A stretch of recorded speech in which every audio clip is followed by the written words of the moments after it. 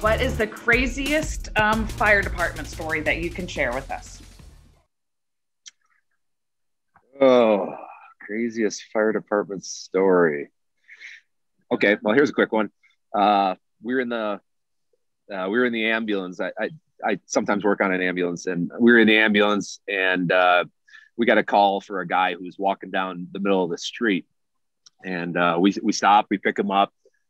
Sir, where do you live? And he was clearly disoriented, um, didn't know where he was, didn't know you know this, that, or the other. So we put him in the back of the ambulance, and really our only choice is to take him to the hospital. So he's like, he's like, no, no, don't take me to the hospital. I don't want to go to the hospital.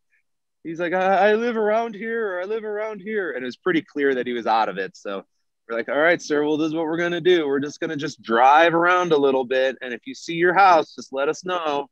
But we're gonna have to take you to the hospital. So in my head, I'm thinking, no way are we finding this house. We're driving around, driving around, driving around. He can't even see anything. And then all of a sudden he just decides he's like, This is my house. Like, there's no windows. He's not looking out a window.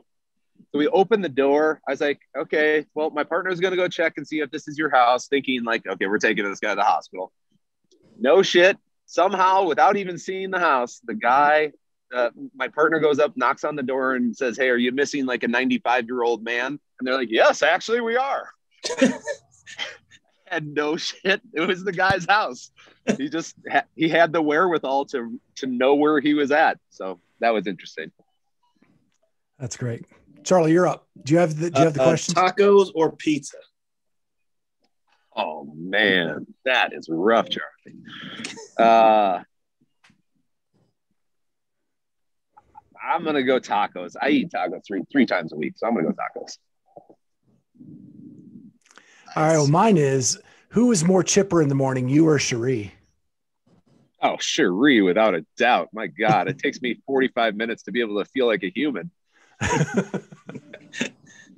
um, best part about living in Colorado?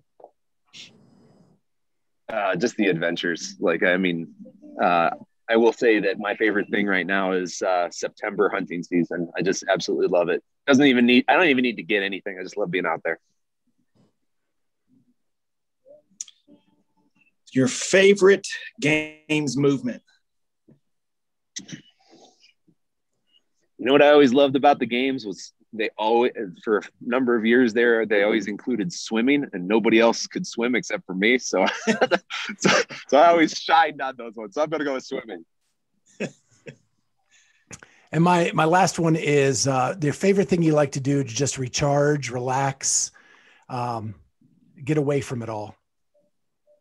Uh, sauna. I, will I'll do a I'll do a 45 minute sauna at 190 pretty much every day, and I use that as kind of like my mindfulness practice as well as just kind of let the body recoup a little bit. Awesome. Well, Matt, this has been a fun hour. Thank you so much for taking the time out. Uh, you've you've had the best background of any of our guests with the beautiful uh, clouds in the sky and oh, thanks. saw some planes go by as we were talking. Yep. So, well, thank you very much. You're you're an OG. We've we've been following you for a long time. Uh, you've always been awesome when I've run into you at, at the Arnold or Rogue, um, and it was just great to chat with you. Well, thanks for having me on, guys. I really appreciate it. It's good to meet you guys. Yeah, thanks a lot. We'll talk soon. Bye bye. All right, bye, guys. Thanks.